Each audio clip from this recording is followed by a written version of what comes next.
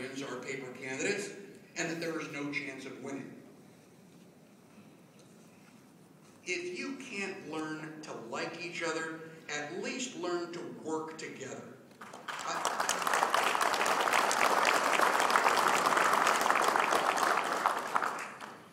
I have never been associated with an organization as hostile and self-destructive as the Libertarian Party.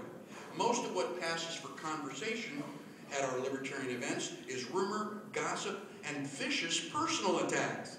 If you can't say something nice about someone, then don't say anything at all.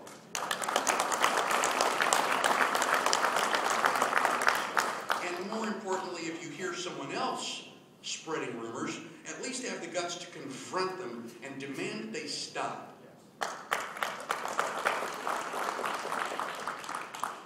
Elect people to the LNC because you trust them, not because they've been there for years or because nobody else is dumb enough to want the job.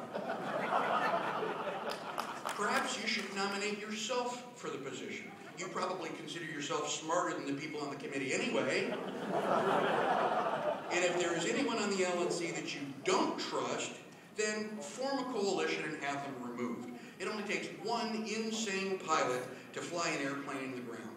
It only takes a handful of neo-libertarians to destroy what little is left of the Libertarian Party.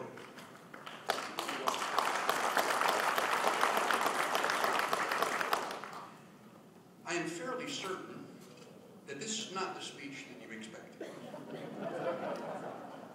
Please, please do not applaud when I finish. Applause just means that you didn't hear or didn't understand the speech.